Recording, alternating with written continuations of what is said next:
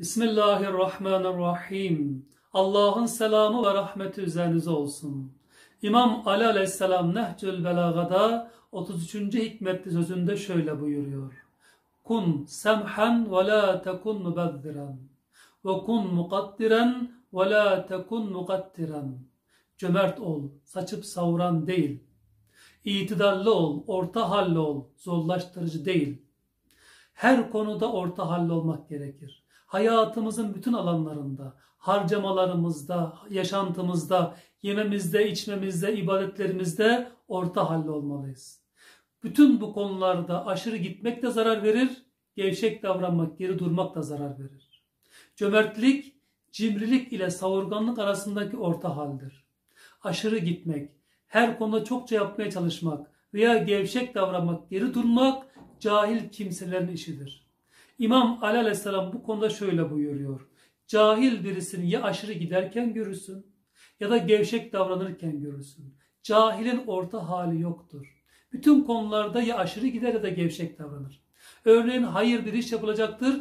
En önde koşarken görürsün. Her şeyini, varını, yoğunu orada, orada sarf eder, harcar. Veya tam tersine gevşek davranır. Kılını dahi kıpırdatmaz. En ufak bir işe dahi katılmaz Cahilin orta hali yoktur. Allahu Teala Kur'an-ı Kerim'de İsra suresi 29. ayette şöyle buyuruyor. وَلَا تَجْعَلْ يَدَكَ مَغْلُولَةً إِلَى عُنُقِكَ وَلَا تَبْسُطْهَا كُلَّ الْبَاسْطِ فَتَقْعُدَ مَلُومًا مَحْسُورًا Eli boynuna zincirlenmiş gibi bağlama, cimrilik etme, eli sıkı olma, büsbütün açıp yayma da, yani savurma, savurgan davranma.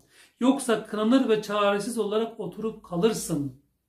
Hayır işlerde infak konusunda olması gereken orta halli olmaktır. Orta halli olmalıyız.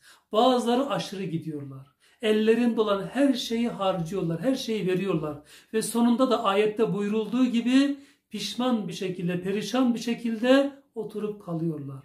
Ya da bazıları tam tersine ellerini ceplerine dahi atmıyorlar. Sanki ceplerinde akrep var.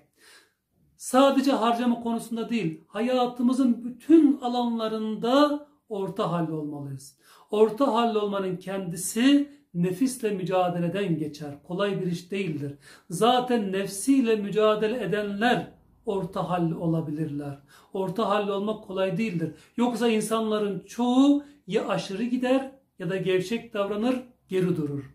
Allah'ım harcamalarımızda, yaşantımızda, ibadetlerimizde, yememizde, içmemizde, toplumsal ilişkilerimizde ve bunun gibi bütün konularda hayatımızın bütün alanlarında orta halli olmayı bizlere nasip et ya Rabbi.